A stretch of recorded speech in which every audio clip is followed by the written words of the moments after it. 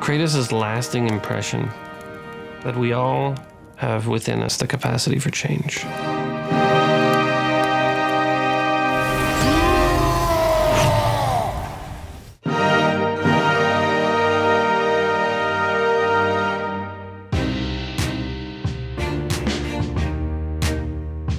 The impetus behind God of War was we wanted to do an action adventure game that felt like a cross between Raiders of the Lost Ark and Clash of the Titans. We really wanted to try to make a video game that delivered on the promise that you had seen on so many backs of boxes. I would describe God of War as basically it's every Greek myth you loved as a kid in video game form with the brutality ratcheted up to 10. What I love about the series is it blends everything I love. I love action, exploration, puzzles, and story. They bring you like a full meal basically. In the very first game, you're introduced to Kratos, who is known as the Ghost of Sparta. He's a former Spartan warrior. You're actually introduced to him as he's on the edge of a cliff about to commit suicide. That's the first time I ever saw that in a game. I'm like, wait, he's gonna kill himself? Kratos, when you first meet him, is in a great deal of torment because he is racked with guilt and has these recurring nightmares uh, of murdering his wife and kid. And he has sort of been traveling around the world, the ancient world, sort of at the request of a, a handful of the ancient gods, doing these heroic tasks for them. The plan was that he would do enough of these tasks and they would take away these nightmares from him, and that was sort of the deal.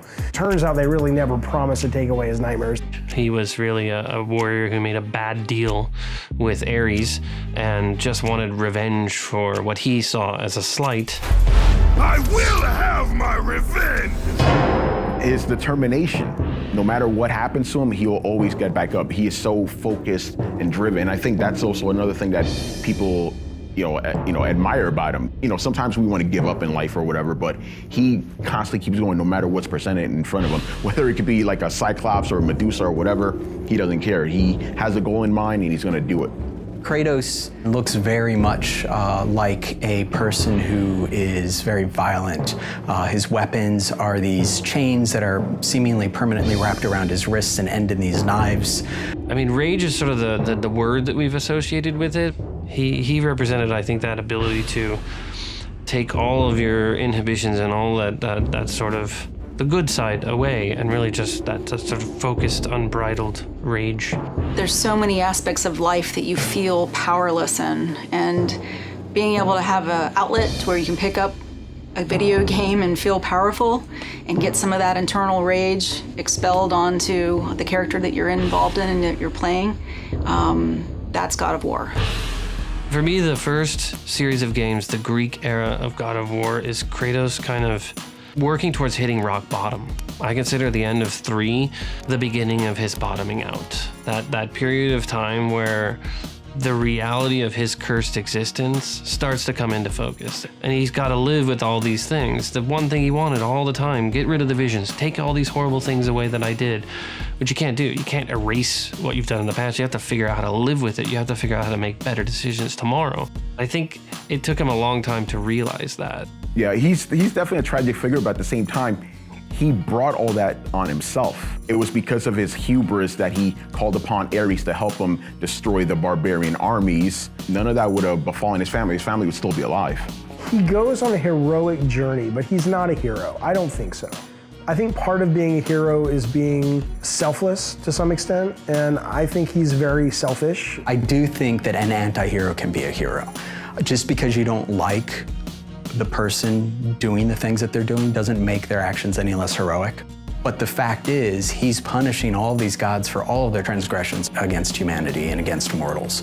But what we always seemed to bake into each one of the stories was this idea that inadvertently he helped mankind, right? He eliminated sort of a very, I think, tyrannical political system of the gods. Since he's apparently killed all of Greek mythology, he's now moved on to a different mythology, probably to slaughter. Norse mythology, which is very interesting and completely unexpected. As much as I love the old God of War games, I think they ran their course as far as Kratos' story. He needed to go somewhere else, both, you know, literally and figuratively.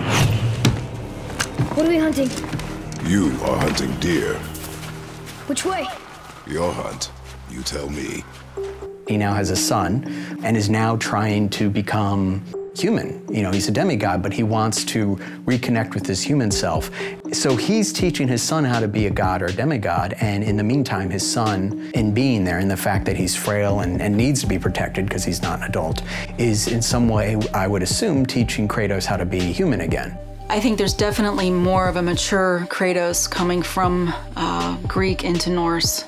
So I think that we're sort of setting up for what could be a very interesting game that's going to combine all of the amazing gameplay of the previous God of Wars, but a much more nuanced and complex story. I think all things sort of have to evolve.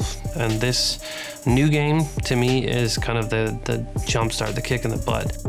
Doesn't matter the distance we've traveled down the dark road. If we can find within us the will to take a step towards uh, another way, a lighter path, then I think through a lot of work, it's possible.